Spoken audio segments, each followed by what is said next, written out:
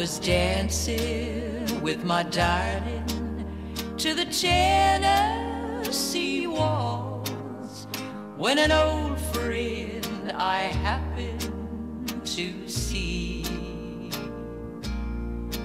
introduced her to my loved one, and while they were dancing, my friend stole my sweetheart from me.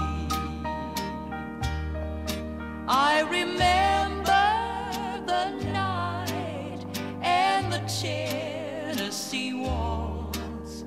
Now I know just how much I have lost.